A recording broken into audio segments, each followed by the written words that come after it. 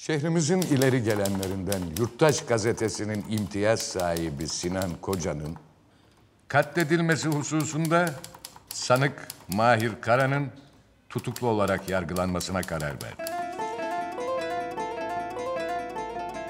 İlk duruşma önümüzdeki ay Temmuz'un 20'sinde yapılacaktır. Sayın Hakim, bu tutuklama kararına itiraz edeceğimi belirteyim. Kime itiraz ederseniz edin Avukat Bey.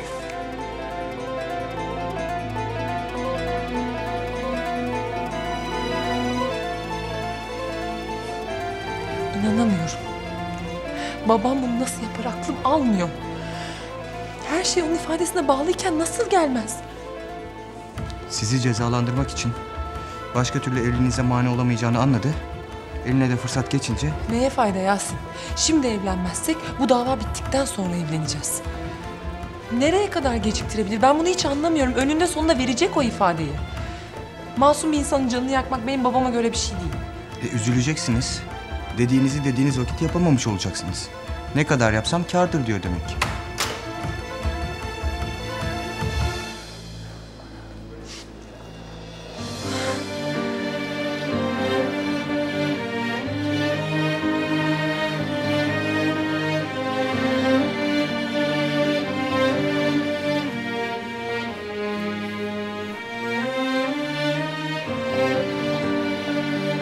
Oğlum.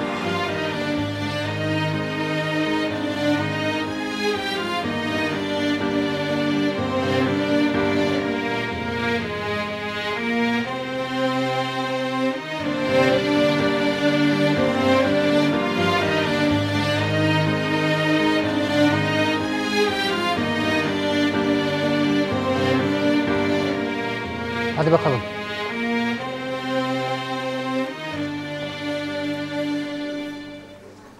Hemen mi götüreceksiniz geri? Yok komiserim.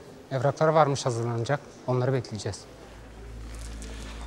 Mukavemetini kaybetme kızım.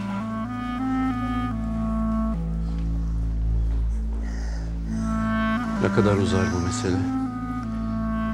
Nikah yetişmenin hiçbir ihtimali yok Erdal. Keşke elimden bir şey gelebilseydi Nasip abi. İfadeler kaleme yollanmış. Dosyanın tamamlanması sürse sürse 35-40 dakika sürer.